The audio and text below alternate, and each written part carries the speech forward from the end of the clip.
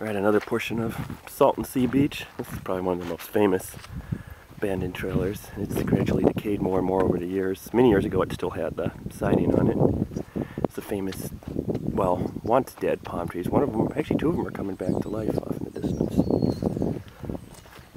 Let's go ahead and venture on in here. What's left of the mattress. Telephone. Yeah, pink stove.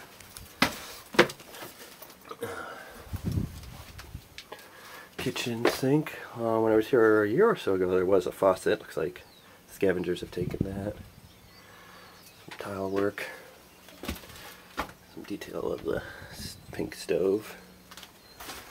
Yeah, let's venture in here. It's a crapper bathroom what was left of the shower bathtub stall. And let's give the, check out that view from the bathroom window. Well, I'd say it was small. Yeah, it's small for a trailer. And a bedroom.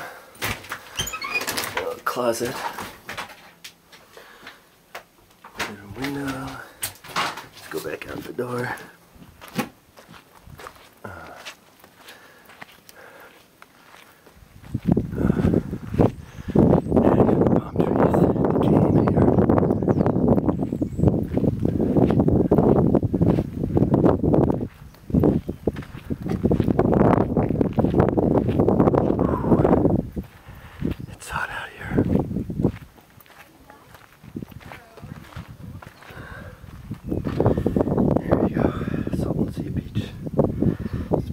Again one of the more famous abandoned trailers here.